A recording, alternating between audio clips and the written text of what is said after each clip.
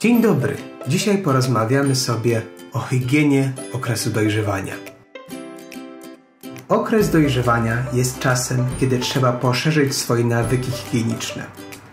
Higiena to dział medycyny zajmujący się wpływem środowiska na zdrowie człowieka. Zasady higieny mają na celu eliminację czynników niekorzystnych i wprowadzenie elementów sprzyjających ochronie zdrowia. Przestrzeganie tych zasad jest warunkiem pełnego rozwoju fizycznego i psychicznego. Higiena okresu dojrzewania obejmuje następujące zagadnienia. Wzmożona potliwość ciała. W czasie dojrzewania hormony pobudzają gruczowe łojowe i potowe skóry do wzmożonej produkcji substancji tłuszczowych oraz potu. Skóra staje się bardziej tłusta. Nastolatek intensywniej się poci, szczególnie pod pachami, na stopach i w okolicach narządów płciowych.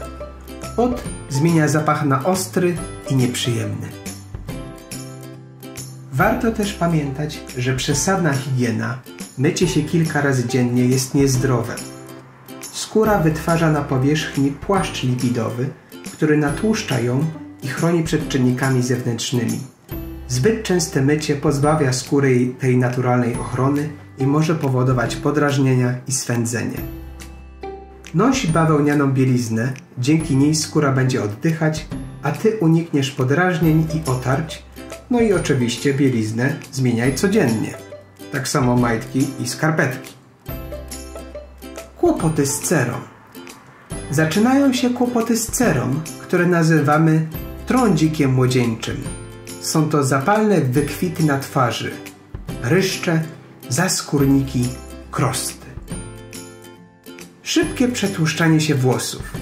Wzmożone wydzielanie gruczołów łojowych i potowych jest też przyczyną szybkiego przetłuszczania się włosów, które już kilka godzin po myciu mogą wyglądać nieestetycznie. Pielęgnacja paznokci.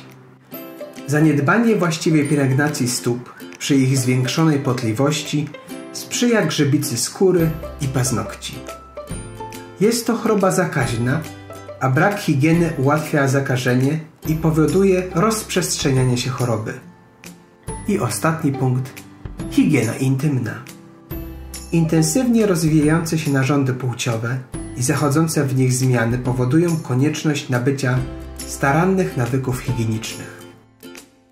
Zarówno chłopcy, jak i dziewczęta powinni myć narządy płciowe codziennie.